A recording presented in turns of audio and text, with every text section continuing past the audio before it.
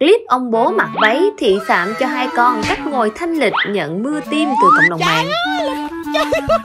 Theo đoạn clip ghi lại, ông bố này đã đích thân mặc một chiếc váy thị phạm cho hai cô con gái cách cúi xuống nhặt đồ để thanh lịch, không lộ hàng khi đang mặc váy.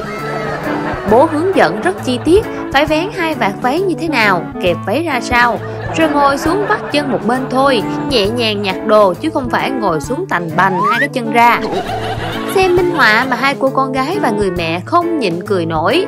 Cảnh tượng hài hước này được người mẹ quay lại, đăng tải lên mạng xã hội, đã nhận về rất nhiều lượt chia sẻ của cư dân mạng vì quá đáng yêu.